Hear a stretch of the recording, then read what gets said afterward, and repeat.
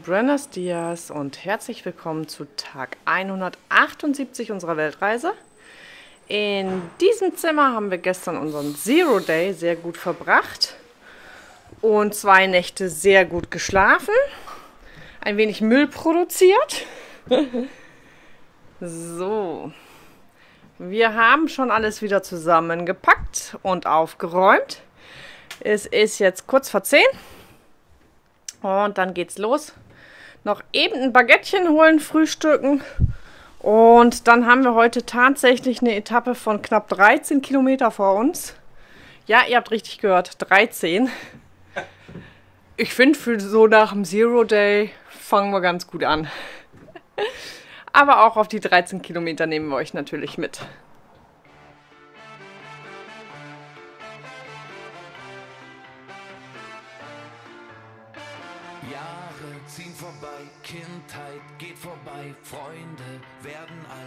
Promille Abiball. Longdrinks gehen leer, Kopf wird voller, alte Liebe wird schwer. Yeah, yeah. Und man weiß immer erst beim Abschied, was es sein bedeutet und wie schön es eigentlich war.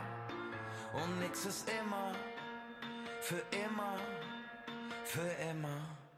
Also tanz, als wär's der letzte Tanz, als wär's der letzte Tanz. Also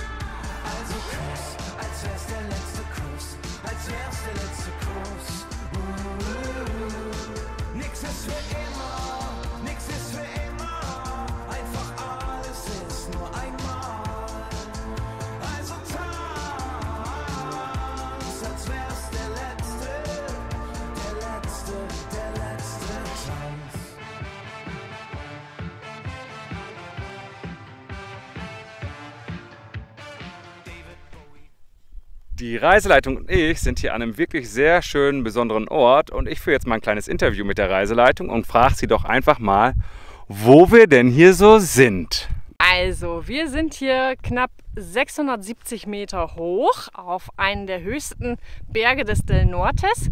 Es ist aber definitiv heute der höchste Anstieg am Stück, den wir auf dem Del Norte zurücklegen. Es kommen noch zwei Berge, die ein bisschen höher sind. Aber da starten wir auch schon von einem höheren Niveau und deswegen ist der Anstieg am Stück nicht so groß wie heute. Aber ich finde es super geil. Weil der Ort so schön ist, bekommt jetzt von mir nochmal einen schönen Schwenk.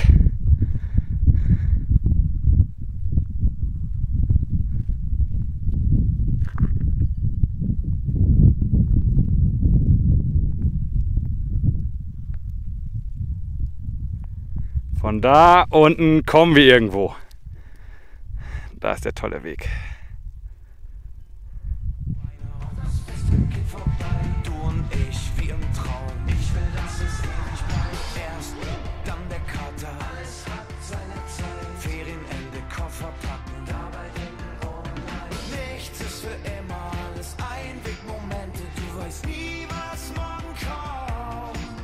Nichts ist immer, für immer, für immer. Also.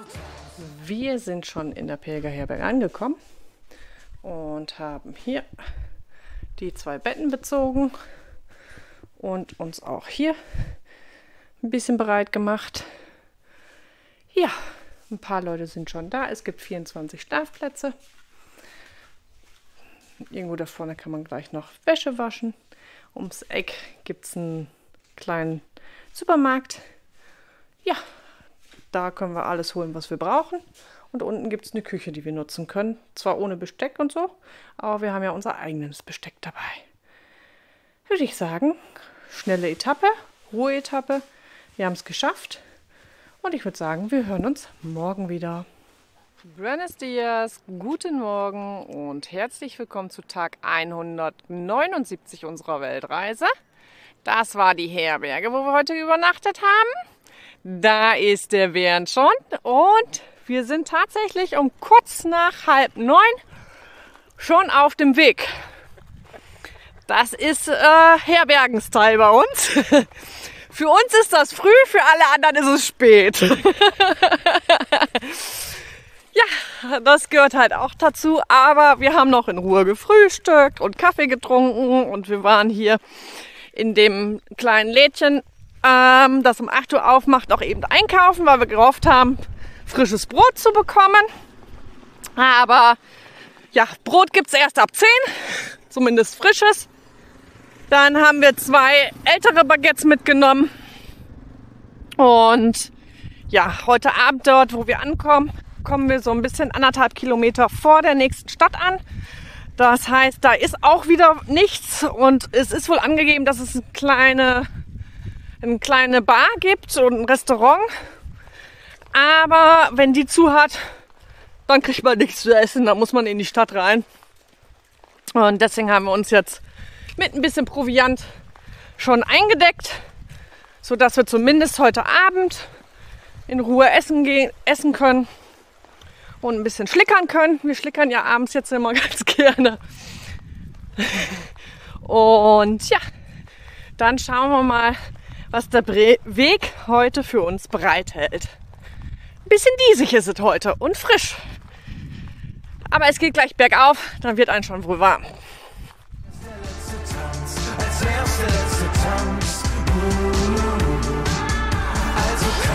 Als wär's der letzte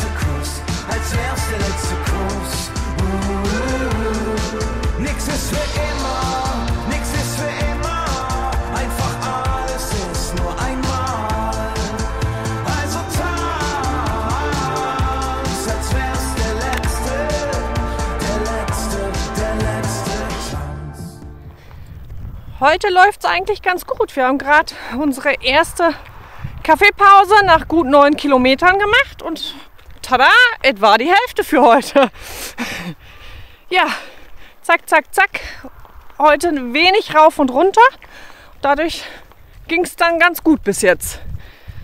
Aber laut ähm, Reiseführer soll es auch so bleiben. Also vermute ich, dass auch die restliche Strecke relativ gut geht.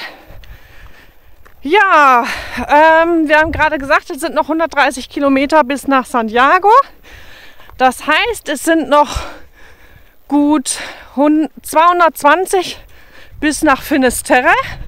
Das hört sich auch schon gar nicht so schlecht an, muss ich sagen. Ja, äh, morgen werden wir dann in einem Städtchen ankommen. Von da an gelten dann auch die letzten 100 Kilometer für die Compostela. Und wie wir das jetzt gehört haben, brauchen wir gar nicht zweimal am Tag einen Stempel sammeln, sondern nur die Leute, die wirklich nur die 100 Kilometer laufen, die müssen das machen. Und wenn man mehr läuft, dann äh, wird es auch nicht angezweifelt irgendwie. Ja, mal schauen, ob wir uns trotzdem zweimal am Tag einen Stempel holen, damit das Stempelbüschen voll ist. Aber wir gucken mal. Aber dann braucht man da nicht so akribisch nachsuchen, wenn es mal an einem Tag nur einer wird, weil wir einen anderen verpasst haben oder so. Mal gucken.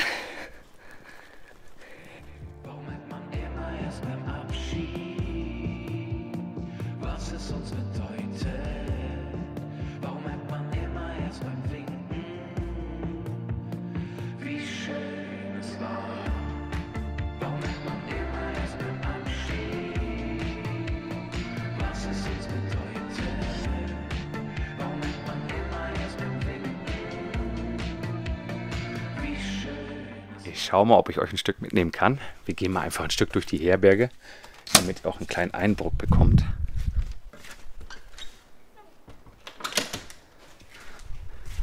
Da ist der Nebenraum. Jetzt gehen wir mal runter.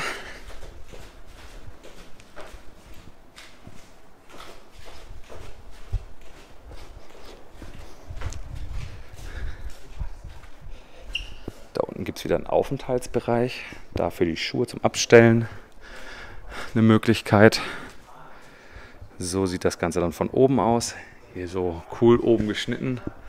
Da kann ich aus dem Fenster schauen, gucken, ob neue Pilger ankommen. Ich wollte euch eigentlich die sanitären Räumlichkeiten zeigen, aber da sind gerade welche drin, höre ich.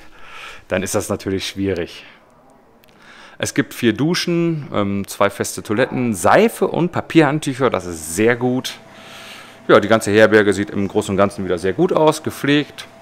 Da können wir uns nicht beschweren. Wunderbar.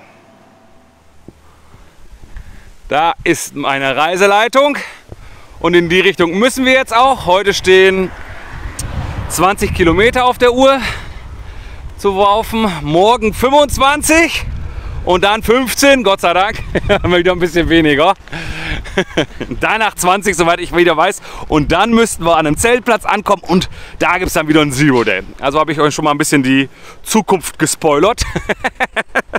Aber ohne Gewehr? Alles ohne Gewehr, man weiß ja nie, was kommt. Das ist natürlich klar. Ja, und du musst abends ja immer die nächste Strecke für den nächsten Tag machen. Da kann das schon mal sein, dass sich das ein bisschen verändert. Okay, es kann sein, dass äh, sich die Streckenführung noch verändert. Aber mir wurde gesagt, dass wir so laufen, aber kann sich halt verändern. Alles klar. Ja, wir haben ähm, prinzipiell ganz okay geschlafen, würde ich sagen, in der Herberge. Wir haben mal was anderes als einen Schnarcher gehabt. Ist auch sehr nervig, ein Huster. Also da war eine Frau dabei, die hat in einer Tour durchgehustet. Das war der Hammer. Ich habe keinen Schnarchen hören so richtig, aber die war die ganze Zeit am Husten. Tja, irgendwas ist ja immer. Ne? Und wir haben jetzt ähm, zwei Nächte in so Herbergen gebucht, die von der gleichen Gesellschaft sind. Ja, die sind jetzt die ganze Zeit noch. Ah, okay, das ist eine Gesellschaft, die bis nach Santiago geht, sagt die Reiseleitung gerade im Hintergrund. Und gestern hatten wir etwas härtere Betten und heute hatten wir etwas weichere Betten. Und ich war ja eigentlich immer Typ weiches Bett. Muss jetzt aber sagen, dass mir das härtere Bett hier auf dem Camino etwas besser gefällt. Diese ganzen, die weichen, die sind super weich. Das ist ja so Schaumstoff. Und du, hast, du, du legst dich da rein und nach ein paar Minuten sinkst du dann so ein und dann hast du so eine richtige Kuhle. Und ich drehe mich schon mal so ein bisschen von links nach rechts und so. Und das ist in so einer Kuhle nicht so einfach, muss ich zugeben. Aber Steffi war auch nicht so begeistert von der Matratze, glaube ich, ne? Nee, auf gar keinen Fall. Also auch ich saß mit dem Arsch fest, wenn man so will. Ja. Ja. Ähm, aber ansonsten war es ganz okay. Es war, ähm, ja, eine relativ saubere Herberge. Es war alles gegeben. Wir können uns nicht groß beschweren. Ähm, mit mehreren in einem Raum schlafen ist ja einfach sowieso nicht so 100% einfach. Aber wir machen das Beste draus. Ein, zwei Mal machen wir noch Herberge bis nach Santiago und auch wahrscheinlich nach Finisterre. Wir schauen mal, was der Tag jetzt noch für uns bereithält und nehmen euch natürlich mit. Wir sind in der ersten Stadt angelangt und das haben wir schon mal öfters auf dem Weg gehabt, aber dies ist jetzt auch schon wohl extrem, dass es hier leerstehende Häuser gibt. Und zwar ist da echt so eine richtige Hausreihe, die sind alle leer. Man kann das sehen, dass die total bewuchert sind und dass da niemand drin wohnt. Ne? Das ist schon manchmal verrückt auf dem Weg hier. Also wenn ich bei uns zu Hause gucke, da gibt es nichts, was leer steht. Also da ist der Wohnungsmarkt noch hart umkämpft, muss ich zugeben. Und ähm, da gibt es sowas nicht. Aber in Ostdeutschland gibt es das ja auch schon mal, also dass sowas leer steht und so. Ähm, aber für uns halt ungewohnt und auf dem Weg wirklich auch Firmen ganz oft, die schon so leer stehen und so. Das ist schon viel, ne? Was sagst du dazu? Ja, ich glaube auch, dass das was damit zu tun hat, dass die jungen Leute in die großen Städte ziehen und dort arbeiten und wohnen und hier jetzt teilweise nur noch die älteren Herrschaften sind und wenn die versterben, dann steht irgendwann sowas leer. Ja, auf jeden Fall total verrückt finde ich das. Weil die Häuser ja, die da jetzt zumindest stehen, auch glaube ich nicht so ein altes Baujahr sind. Also weiß ich jetzt auch nicht so ganz genau, aber ja. Auf jeden Fall ähm, crazy. Also man hat auch öfters mal leerstehende Häuser am Wegesrand und so, aber man hat auch viele schöne Dörfer, wo nicht so viel leer steht oder so verfallen ist. Aber hier gibt es das schon mal auch öfters. Ne? Also kommt immer so ein bisschen drauf an. Ja, dann habe ich euch das auch mal gezeigt. Das ist auch wieder so ein zerfallenes Haus.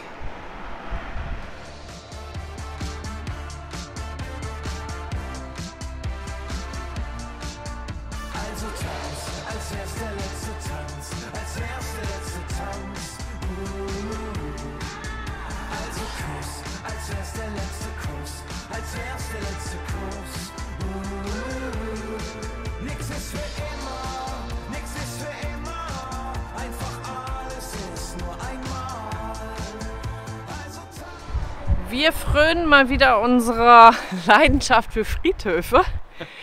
es ist sehr interessant hier. Die haben da so coole ja, Verzierungen oben drauf und dann hat man so, ja, so eine Wand.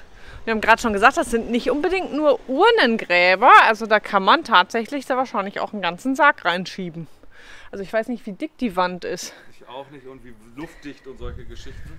Ja, weil wenn man jetzt hier guckt, also rein theoretisch da ist der Eingang und das ist ja auch alles zugemauert. Also dahin, dieser Stein. Ne? denke ich auch. Also da passt schon auf jeden Fall ein Sarg rein.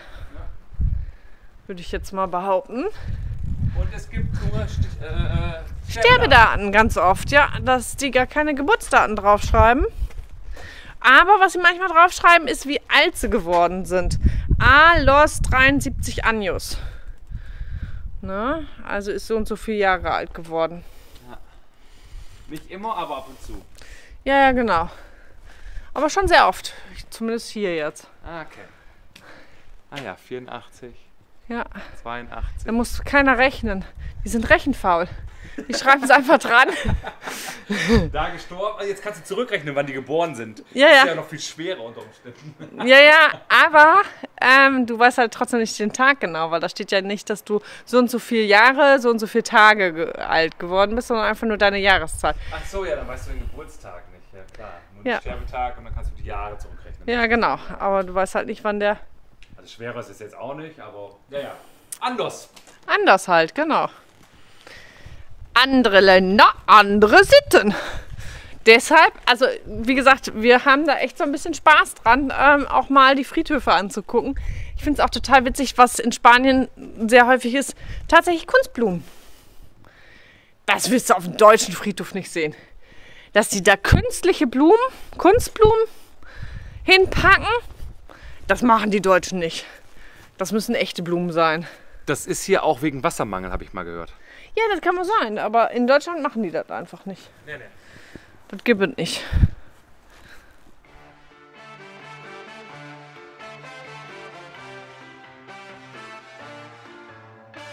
Jahre ziehen vorbei, Kindheit geht vorbei, Freunde werden alt, zwei Promille Abiball, Longdrinks gehen leer, Kopf wird voller, alte Liebe wird schwer. Yeah, yeah. Und man weiß immer erst beim Abschied, was es sein bedeutet und wie schön es eigentlich war. Das ist unsere Schlafecke für heute. Wir sind nämlich schon am Etappenziel angekommen und haben uns tatsächlich doch für ein Bettchen hier entschlossen, anstatt mit dem Zelt draußen, weil der Garten ist recht uneben. So. Schief, genau. Nicht uneben. Starkes Gefälle. Starkes Gefälle, genau. So, da vorne sind die. Hier sind Duschräumlichkeiten und Toiletten. Dann geht es hier runter. Also oben waren 40 Betten. Dann ist hier so ein kleiner Aufenthaltsbereich. Das ist draußen der Garten. Da kann man auch Wäsche waschen. Da hinten ist eine Küche. Wieder genau wie gestern ausgestattet mit Herd, aber ohne Utensilien. Ich glaube, du hast recht, da ist nur einer drin. Ja.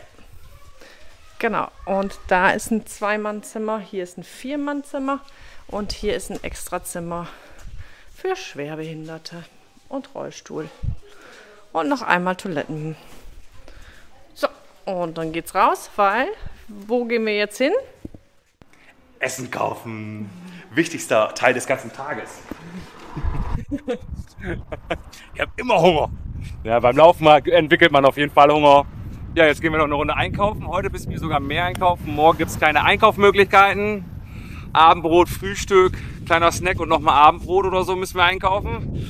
Das wird ordentlich zu schleppen sein. Und dann sind es auch noch 25 Kilometer morgen. Eieiei. Naja, werden wir schon schaffen. Ich bin ganz sicher. Schauen wir mal, was der Einkaufsladen so für uns hat. Guten Morgen, Buenos Dias und herzlich willkommen zu Tag 181 unserer Weltreise. Wir haben, wie spät haben wir es? Kurz vor acht. Kurz vor acht und sind tatsächlich abflugbereit. Ja, heute stehen 25 Kilometer an. Deswegen sind wir heute ein bisschen früher, beziehungsweise hat gut gepasst vom Aufstehen her. Und dann sind wir mal gespannt, was der Weg heute so für uns bereithält. Auf geht's! Hier haben wir den Marker 100 Kilometer und 201 Meter noch bis nach Santiago. Und wir filmen das jetzt schon, weil eigentlich wollten wir das nur bei dem 100er machen. Aber da uns gerade jemand gesagt hat, dass der nächste Schritt irgendwas mit 99 ist und dass der 100er übersprungen wird, haben wir gedacht, wir nehmen ihn jetzt schon mal mit. Und dann gucken wir gleich mal, was der nächste Marker uns erzählt.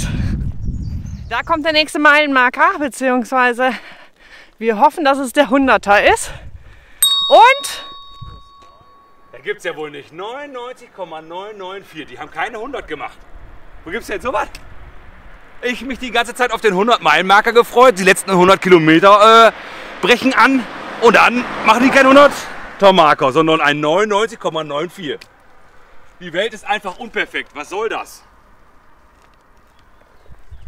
so, was fehlt uns denn da? Sechs Meter fehlen uns da. Große Schritte. Eins, zwei, drei, vier, fünf, sechs. Ach, guck mal, Da hat auch jemand 100 Kilometer hingeschrieben. hat jemand 100 Kilometer hingeschrieben. Die Verrückten. Ja, Nicht ganz offiziell, aber er ist da, der 100-Kilometer-Marker. genau so sieht's aus.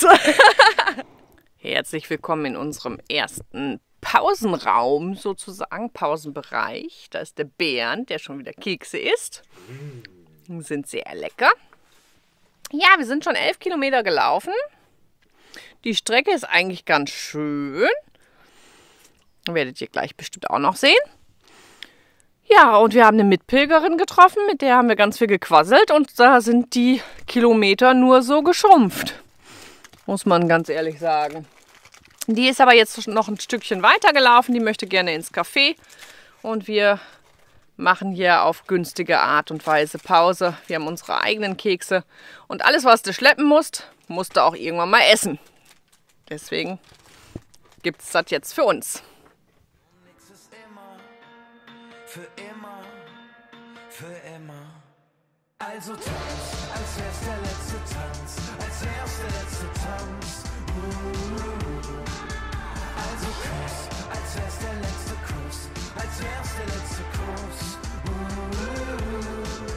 Nix ist für immer, nix ist für immer. Einfach alles ist nur einmal. Also. Wir sind an unserer Unterkunft heute angekommen, an der Herberge, nach 25,8 Kilometer. Es gibt mal wieder eine Küche mit Kühlschrank, Herd und drum und dran. Wir haben extra Lebensmittel mitgenommen, weil man vor Ort nichts kaufen kann. Und es ist ein Ceranfeld. Man kann unseren Topf da nutzen, nicht so wie gestern. Ja, hier gibt es einmal für Frauen Duschen, zwei und zwei Toiletten. Das gleiche bei den Männern. Dann dieser cooler Gang, der hier lang geht. Links und rechts ein Raum und wir sind rechts. So, hier geht's rein. Es gibt heute harte Matratzen. Meistens gibt es entweder weiche oder harte. Ich mag die harten etwas lieber. Da unten schlafe ich. Da unten die Reiseleitung. Weil bei den weichen sinkt man ein, hat eine Kuhle und man kommt nie wieder raus und kann sich nicht drehen. Ist es so? Stimmt. Gut. Ja, wir machen uns jetzt noch mal einen schönen Abend, würde ich sagen. Guten Morgen, Buenos Dias und herzlich willkommen zu Tag 182 unserer Weltreise. Hier haben wir gestern Abend genächtigt, haben beide eine gute Nacht gehabt. Eigentlich war hier eine sehr schöne Aussicht. Im Moment ist es ein bisschen neblig und diesig. Wir haben halb neun und es geht wieder auf den Weg. Heute sind es nur 15 Kilometer, aber wir erreichen heute den höchsten Punkt des Del Nortes. Gut, du sagst, da geht's lang. Dann folgen wir dir mal einfach.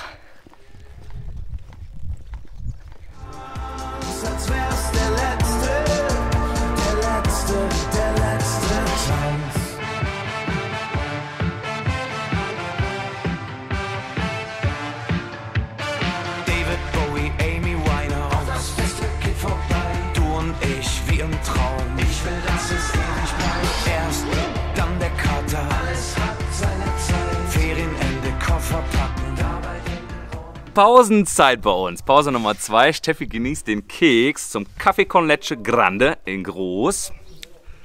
Hier an der Straße, doch die ist überhaupt nicht stark befahren. Also tut das kein Abbruch, würde ich mal sagen. Ne? Ja, wir genießen die Pause jetzt mal einfach hier. Lassen es uns gut gehen, das gehört auch zum Weg. Jede Pause. Ach, guck mal, nur noch, dann haben wir zehn schon gelaufen. Ja, guck mal, dann haben wir heute schon zehn Kilometer gelaufen, dann haben wir uns einen Kaffee, denke ich, auch mal verdient.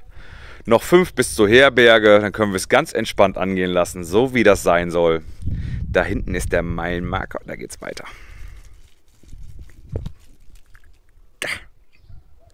Gut, wir genießen die Pause noch und ihr hört von uns.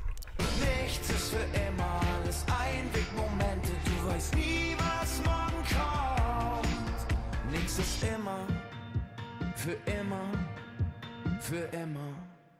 Also tanz, als wär's der letzte Tanz, als wär's der letzte Tanz. Uh. Also Kuss, als wär's der letzte Kuss, als wär's der letzte Kuss. Uh. Nix ist für immer, nix ist für immer. Dort seht ihr das Kloster, wo wir heute eigentlich übernachten wollten.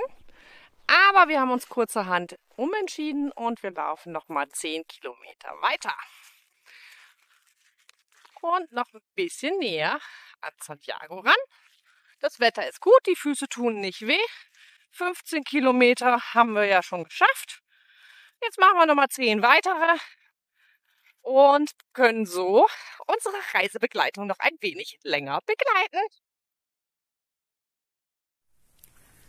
Wir sind natürlich noch unterwegs, weil heute laufen wir jetzt anstatt 15 25 Kilometer. Und die Wiesen werden immer brauner, also wir kommen ja auch immer mehr ins Inland. Die These hatten die Reiseleitung und ich ja schon aufgestellt, ob es dann wohl brauner werden könnte. Und ich würde sagen, es bewahrheitet sich. Also das ist auch so ein Spanienbild, was ich im Kopf habe. Viel Sonne, teilweise wirklich diese braunen Wiesen durch die Trockenheit. Ja, so ein bisschen habe ich doch das Gefühl, dass das mehr wird. Aber der Weg ist wunderschön, es ist gut warm und ich denke, wir drei freuen uns alle auf heute Abend auf unsere Dusche.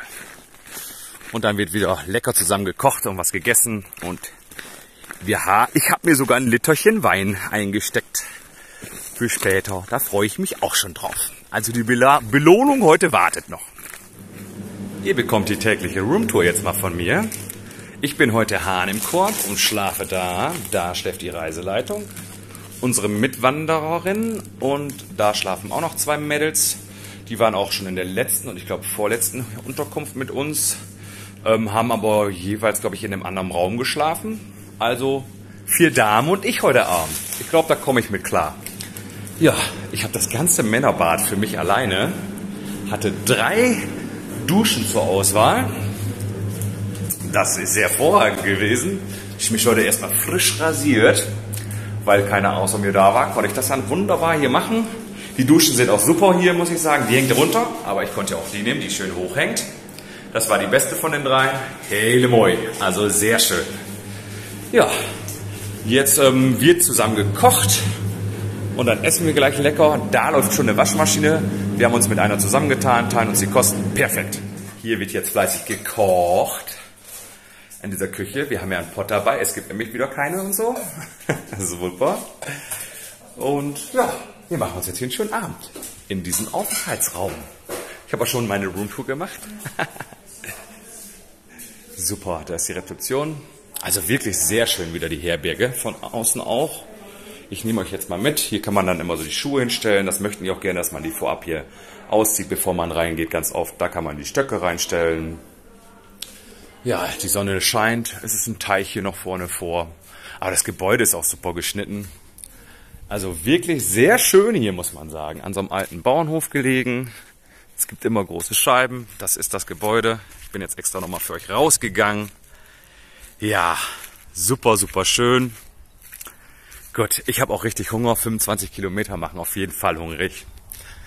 Schauen wir mal. wie der Abend so wird. Guten Abend, ihr Lieben. Der Bernie ist fein am Kochen. Was gibt's denn heute Leckeres? Es gibt Nudeln mit einer richtig guten äh, Soße heute. Nicht nur einfach Tomatensauce, sondern das Paprika, Knoblauch, Zwiebeln Zucchini. und Zucchini drin. Also heute mal richtig mit Vitaminen. Ein bisschen Käse darf auch nicht fehlen. Alles so ein bisschen mit Öl angebraten. Ja, ähm, es ist noch Luft nach oben, aber es wird immer, immer besser, würde ich mal sagen. Genau. Und da sind nämlich schon die Nudeln.